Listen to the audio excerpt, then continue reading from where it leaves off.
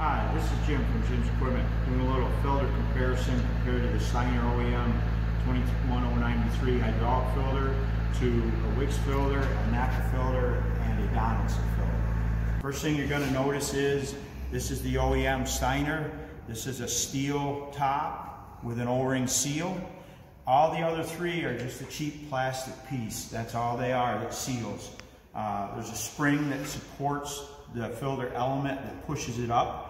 So if this plastic ever gets hot enough to crack, melt, whatever, obviously you're not going to filter.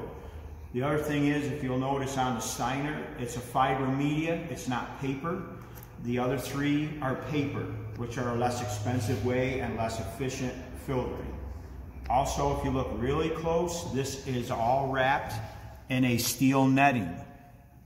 None of the rest of the elements have that kind of strength to them.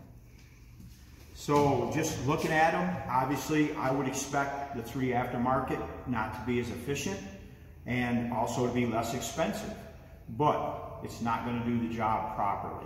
Thanks for watching this hydraulic filter comparison with Jim. And be sure to make the right choice. Choose Jim's Equipment Repair.